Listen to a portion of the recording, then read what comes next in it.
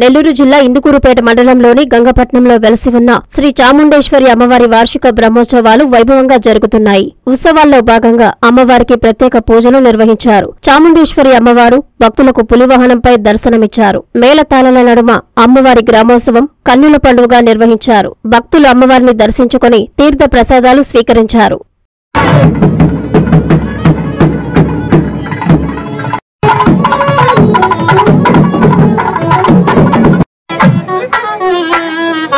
¡Vamos!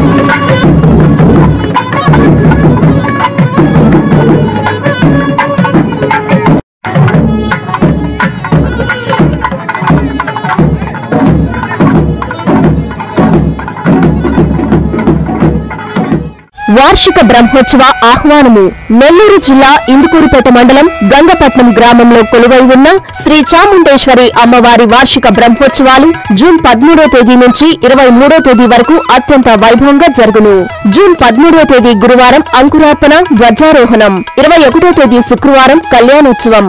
కళ్యాణోత్సవం సందర్భంగా నెల్లూరు పార్లమెంటు సభ్యులు శ్రీ వేమిరెడ్డి ప్రభాకర్ రెడ్డి గారు కోవూరు శాసనసభ్యురాలు శ్రీ వేమిరెడ్డి ప్రశాంత్ రెడ్డి గారు స్వామి అమ్మవార్లకు పట్టు వస్త్రాలు సమర్పిస్తారు. ఇరవై రెండో తేదీ శనివారం వసంతోత్సవం గంగోత్సవం. ఇరవై మూడో తేదీ ఆదివారం రథోత్సవం.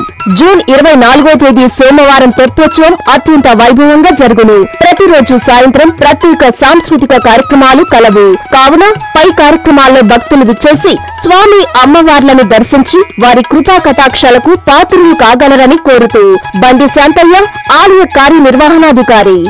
జన్మదిన శుభాకాంక్షలు. రాష్ట్ర అభివృద్ధిపై శ్రద్ధ నెల్లూరు అభివృద్ధిపై విజయం ప్రజల సంక్షేమంపై ప్రత్యేక దృష్టి కార్యకర్తలను గుండెల్లో పెట్టుకుని కాపాడే మనసున్న మారాజు డాక్టర్ శ్రీ పొంగూరు నారాయణ గారు జరిగిన ఎన్నికల్లో అత్యధిక మెజారిటీతో గెలుపొంది రాష్ట్ర మున్సిపల్ అర్బన్ డెవలప్మెంట్ శాఖ మంత్రివర్యులుగా ఎన్నికైన నారాయణ గారికి మా హృదయపూర్వక జన్మదిన శుభాకాంక్షలు. ఇట్లు తాళ్ళపాక అనురాధ టీడీపీ మహిళా నేత మరియు మున్సిపల్ మాజీ చైర్పర్సన్ నెల్లూరు.